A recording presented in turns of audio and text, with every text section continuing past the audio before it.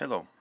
For those who are very perceptive about the dating and videos on YouTube, you may have noticed that there has been a surge of Seiko TV uh, watches on a certain web page, auction web page, and this is what I had for my share. So I was looking for something uh, that I can repair and for a reasonable amount of price. This is this came to my way. So uh, as you have noticed, this is a TV FM stereo receiver from Seiko for the Seiko TV watch. The uh, model number is TR02-1. You can see it here. So the seller was uh, mentioning that there has been some issues with the audio and uh, since there is no analog signal anymore you cannot test the um, video capabilities but there are some um, signs that uh, this was partially working. Uh, one of them was this corrosion here. This is uh, typical of aluminum corrosion uh, that you would see uh, from a battery leak. And there were some other mentions of it um, in the advertisement so that didn't scare me off because the um, item is like a unicorn. It's uh, not rarely seen on eBay and when you see it it's like uh, costing arm and a leg. And this time three or four or even five of them appeared all at once and yeah uh, I thought this could be the moment I already took it uh, out of the case because um, there's nothing special. There's only uh, two things that you have to uh, pay attention to. One is the dial knob. Uh, there's a pin that is holding it in place. Um, this thing moves upwards and it exposes the pin when you move it out. You can take it uh, off easily. The other uh, part is there are some hidden screws here and there. nothing's that an attentive person wouldn't find and uh, take care of them easily.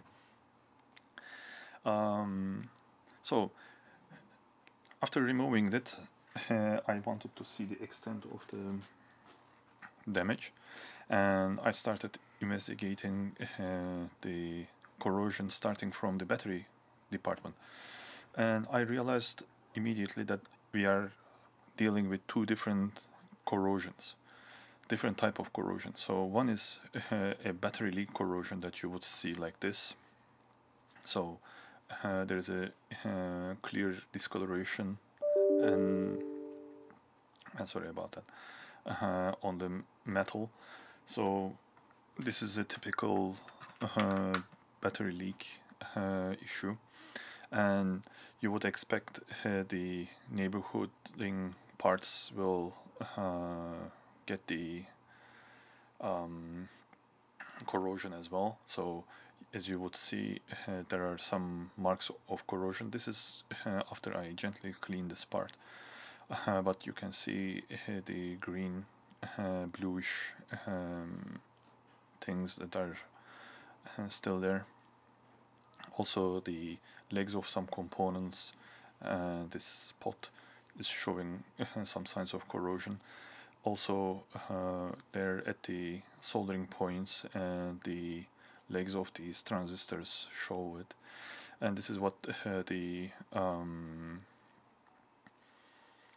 the seller mentioned that there was some corrosion on the battery uh, sorry the uh, power connector. So this uh, I call it the uh, first type of corrosion that we are observing the second one is uh, due to the age, some electrolytic capacitors start to leak, and when they leak, uh, they have their own corrosive uh, signature, let's say. So, for example, if we look at uh, this capacitor here, and we find it on the opposite side, um, if you pay attention to these two solder points here, those are the legs of that capacitor, so you see that, uh, for example, these are nice and shiny connectors uh, or solder locations, and these are a little bit matte.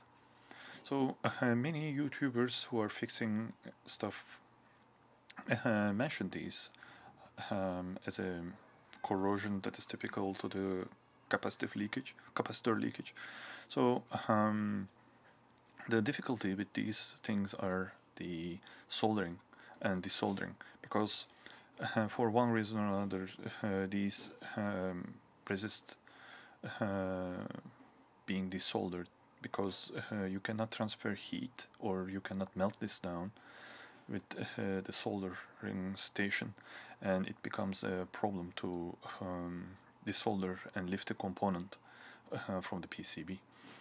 I tried already uh, two capacitors that were located here and I tried to desolder them. And it was already a challenge because this as you see the PCB is not your standard PCB thickness but it, it is thinner. And it took me 10-15 minutes to slowly work my way and lift these from the board with and keeping the traces intact. Uh, so I'm assuming that uh, the rest will be as difficult because some of them are really at locations which are difficult to uh, access. And these two PCBs are held together via this wire uh, that are here and there. Uh, maybe it needs to be desoldered because uh, this um, PC uh, main board can be uh, or the water board can be hiding some other capacitors that are leaked uh, at the center because it is very difficult to observe the center from these uh, upright ICs and here the view is blocked by the I think what I call the RF modulator. And here uh, also the view is blocked uh, because of this wire between the two boards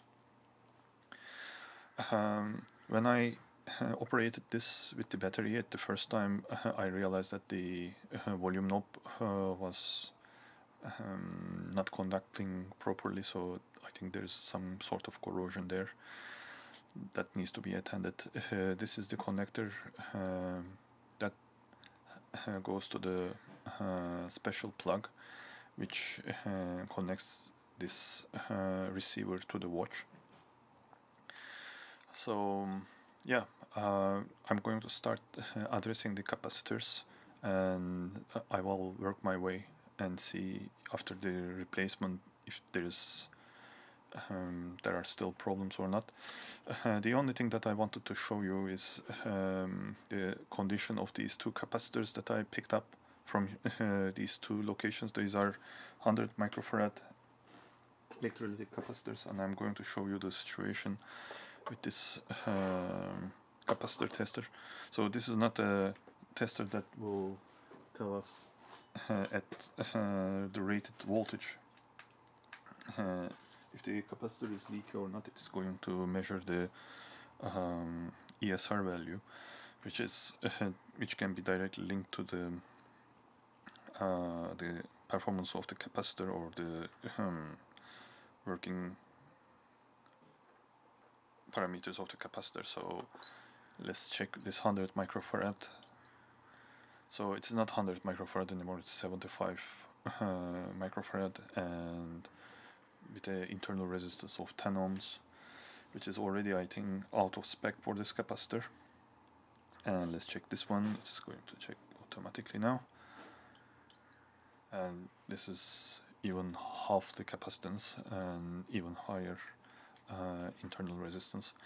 So the problem with uh, this board is you cannot just uh, go out and start ordering com components.